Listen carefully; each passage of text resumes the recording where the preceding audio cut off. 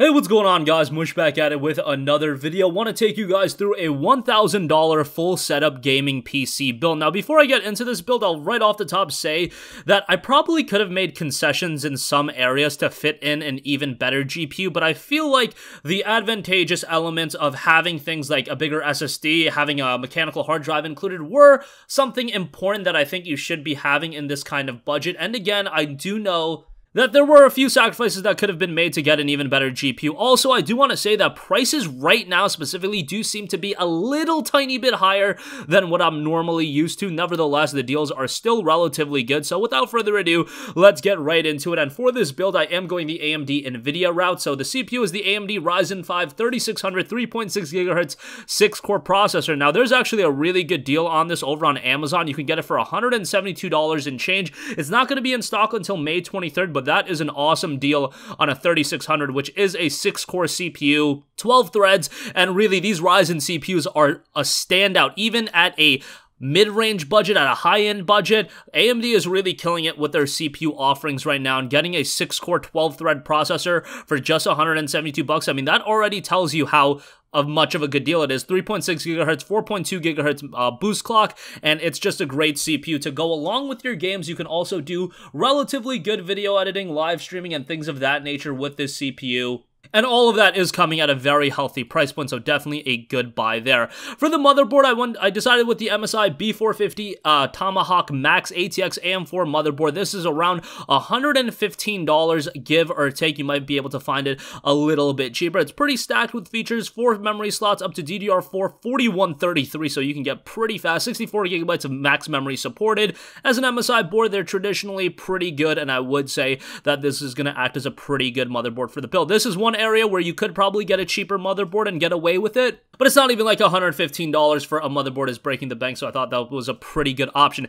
RAM, again, you could go the route of getting 8 gigabytes of RAM, but I just think it's very, very imperative these days that if you're if you are building around $800 worth of a PC, you should be getting 16 gigabytes. Honestly, 16 gigabytes is becoming more and more essential. Can you get by with 8 gigabytes? Absolutely, but it's not always about just getting by. You want to make sure that you can run all of the big games coming out this fall and even next fall. Now, you get the 16 gigabytes now and you can upgrade to 32 down the line. I don't think 32 is going to become a real necessity for a very, very long time. So I wouldn't even be stressing about that too much, but 16 gigabytes, while it's not absolutely essential right now, it's getting to the point where I think in a year or two down the line, 16 gigabytes is going to be looked at as something much like 8 gigabytes was looked at, you know, around 2011, 2012, where yeah, you could get 4 gigabytes and get by, but 8 gigabytes was really the standout, and 16 gigabytes is really approaching that territory. 3200 megahertz here as well, and $75 for 16 gigs of RAM is really good given I remember the days of RAM being much more expensive, so this is a cakewalk in that regard.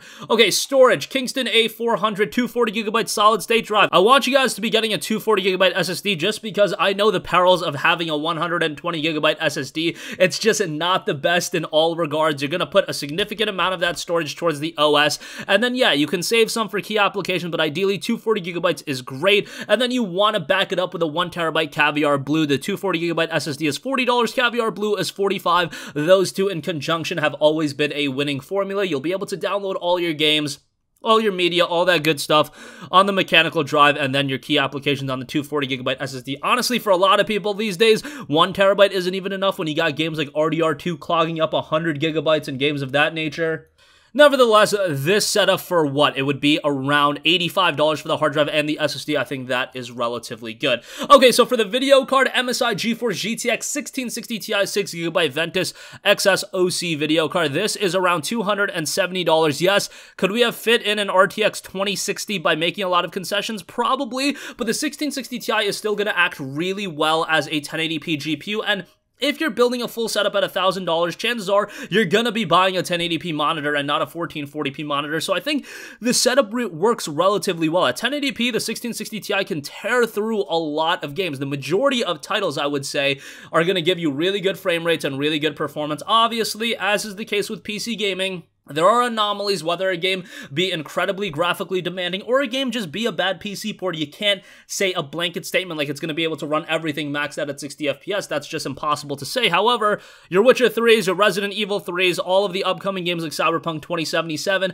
I imagine that they're going to be able to run really well on a $270 GPU and it still offers great performance. As far as the power supply, Seasonic S12 500 watt 80 plus bronze certified power supply. Now, power supplies is one area where I noticed the prices right now are relatively relatively high, we would typically be able to get like a 620 watt variant of this power supply for around this price, maybe even a little bit cheaper. So I don't know what's going on with power supplies. They're just a little bit expensive. Nevertheless, a 500 watt is going to be fine. The 1660 Ti is incredibly power efficient, and as is the CPU. All of that coming together is going to make this more than enough to power your entire rig. And finally, for the main build, NZXT H510 ATX mid-tower case. This is one that's a little bit more pricey than I typically go for on a case, but given that the budget allows you to be a little bit more flexible, I still really like the look of this case. It's a simplistic black case, and that's really what I go for. I don't go for anything that is too over the top in terms of its looks. However, something like this looks clean enough, looks aesthetically pleasing, and $70 is still within that budget threshold that I am comfortable with spending on a case. I really am not the kind of person to be recommending, you know, cases that are north of $100. If that's your thing, go for it. If you want the fancy full tower and you want it to be completely decked out, more power to you. I'm just the kind of person that wants something a little bit more simple, a little bit more aesthetically pleasing. In my eyes, I should mention that. Everybody's opinions on what looks clean is going to be different. But I've never been the kind of person that likes to make their PC look super cool. It's just gonna sit on top of my desk, under my desk, whatever the case may be, and this is gonna be something that does work in the build rather well. Okay, some accessories and things of that sort. For the monitor, Asus VE248H 24-inch 1920 by 1080 monitor. This is $123. 24-inch 1080p monitor is pretty good. It's actually down to 120 right now on Amazon, so that's pretty good.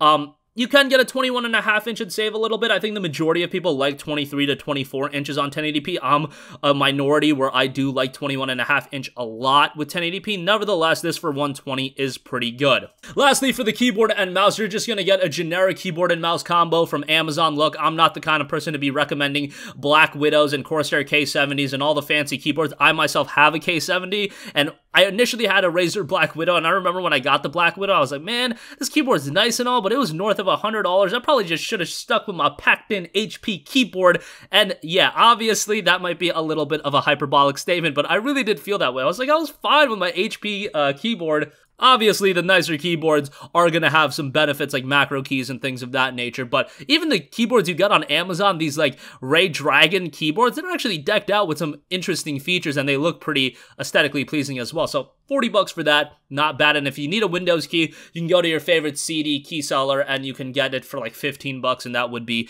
a pretty good way to get Windows. But that's going to conclude this video, guys. Again, $1,000 in totality. I think it's pretty good, all things considered. A great 1080p machine.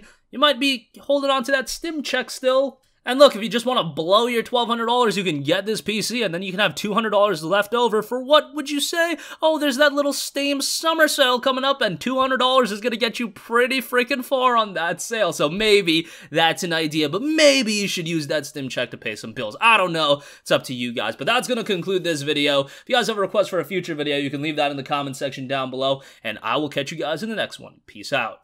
Hey, what's going on guys? Mush here again. Hope you enjoyed the video. As you guys might know, YouTube's notification system is sometimes a little bit wonky, even if you're subscribed to the channel. Maybe you're not abundantly aware that I uploaded a video to remedy that situation. Make sure you hit the bell notification button. This way, whenever I upload a new video, and I try to upload as consistently as possible, you will be notified directly of the upload, and you can watch it as soon as it goes live. I would really appreciate if you guys hit that button so you can stay up to date with all of the the content I'm posting. But as always, guys, thanks for watching, and I'll catch you guys in the next one. Peace out.